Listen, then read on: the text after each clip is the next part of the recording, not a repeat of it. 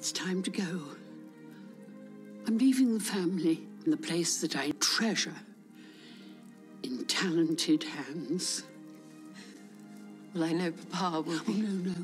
No, I don't mean your father. I know I, I love him dearly. No, I, I mean you.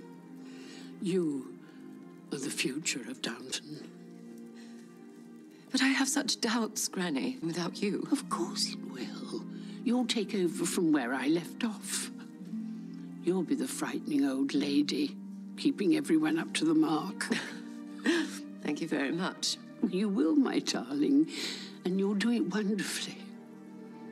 You're the best of me that will live on. Hurrah!